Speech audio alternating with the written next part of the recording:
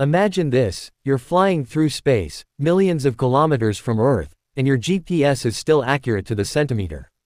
Sounds impossible, right? Well, it's all thanks to one of humanity's most precise inventions, the cesium atomic clock.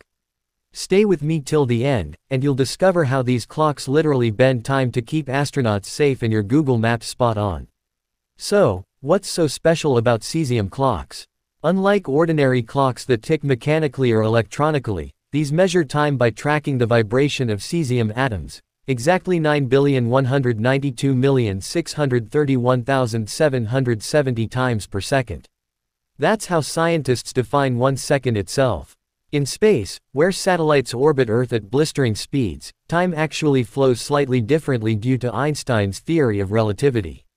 Without atomic clocks correcting that tiny difference, just a few billionths of a second, GPS satellites would send your location off by kilometers. Even NASA's deep space missions rely on these clocks. In fact, the Deep Space Atomic Clock DSAC, launched by NASA, can keep time so precisely that it only drifts one second every 10 million years. That's how spacecraft navigate billions of miles away, without losing track of time or direction.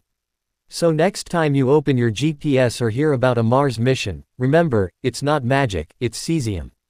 If this blew your mind, smash that like, drop a Time is power, in the comments, and subscribe for more science that keeps our universe ticking.